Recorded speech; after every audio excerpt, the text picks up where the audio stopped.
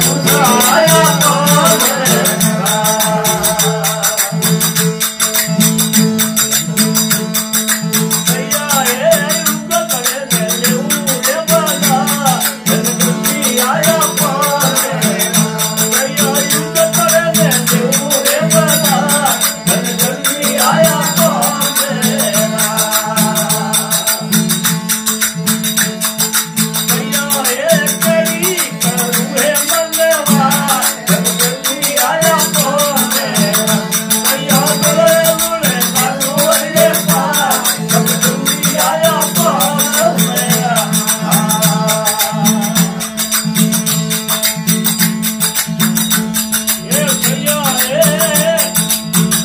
Hallelujah.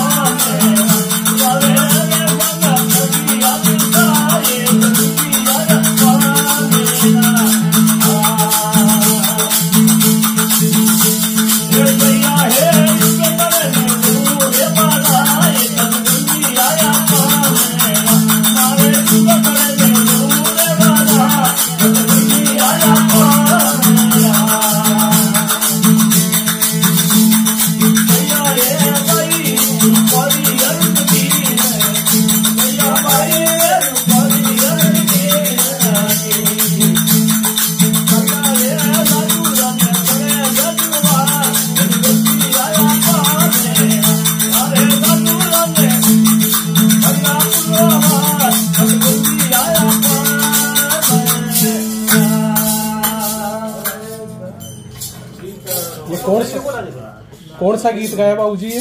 हाँ मतलब कौन सा भजन है ये?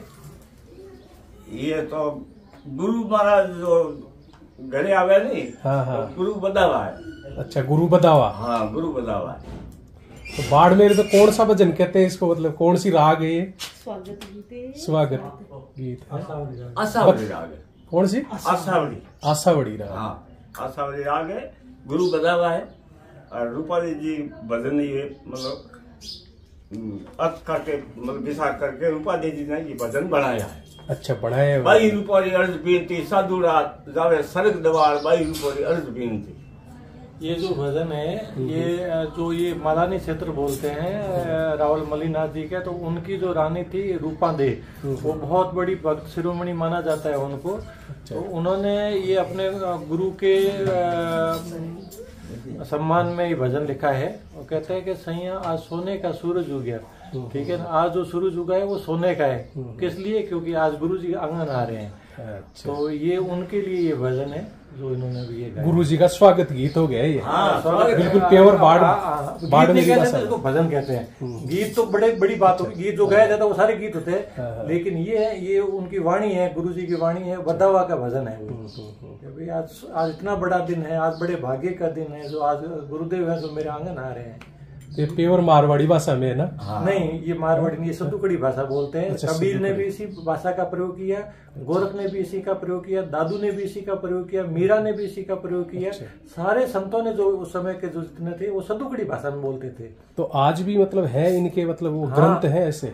ये सारी मौखिक परंपराएँ ज़्यादा है श्रवण परंपरा के हैं और ये जितने भी पुराने जो जितने कहीं पे भी आप ढूंढोगे ना तो पुराना कोई यदि हरियाणा में भी ढूंढोगे ना तो ये सेम भजन जानने वाला आपको मिल जाएगा। अच्छा। नई पीढ़ी नहीं जानती। पुराने समय में क्या होता संतों की वाणियाँ मौखिक परंपरा में चलती थी और उन सब की जो बोली होती थी वो सतुकड़ी भाषा बोलते थे जैसे अवधी भी है ब्रज भी है मारवाड़ी भी है ढूंढाड़ी भी है वो सारी भाषाओं के कुछ न कुछ शब्द होते हैं। अच्छा। यहाँ तक कि आप यदि पंजाबी में नानक साहब की कुछ वाणी ढूंढोगे तो उसमें भी ये शब्द मिलेंगे यही भाव मिलेंगे। और उनका अनुशासन का तरीका भी वही होता था। कि पहले भजन की टेर बनती है फिर उसके दो या तीन अंतरे बनते हैं और उसके बाद उस जिस संत ने जिस भजन को कथा है उसकी छाप लगती है उसको थेवा बोलते हैं। अच्छा थेवा मोर लगना। आ, मोहर लगना। तो भाई कबीर ने कहा तो कबीर की लगेगी मीरा ने बोला तो मीरा की लगेगी गोरखनाथ जी ने बोला तो गोरखनाथ जी की लगेगी। तो अब ये जो भजन गाते हैं सब संतों के गाते हैं। आप कबीर का बोलोगे तो कबीर का गा देंगे। मीरा का मीरा का गा देंगे दादू दयाल जी का बोलना सुंदर दास जी का बोलना सबकी वाणी ये जानते हैं। और ये वाणियाँ पुराने समय में क्या होता था कि इस पूरे क्षेत्र में और सब क्षेत्र में सभी संतों की वाणियाँ पूरी रात गाई जाती थी और सारी वाणियों की फिर अर्थावणी होती थी मतलब उसके अर्थ होते थे। अच्छा। और और अर्थ में फिर ज्ञान चर्चा होती थी। अब तो सत्संग में भजन में क्या होता है स्टेज बन गया स्टेज पे उसने गा के कलाकार चला गया। पहले ये परंपरा थी पहले बैठक परंपरा होती थी गाते थे।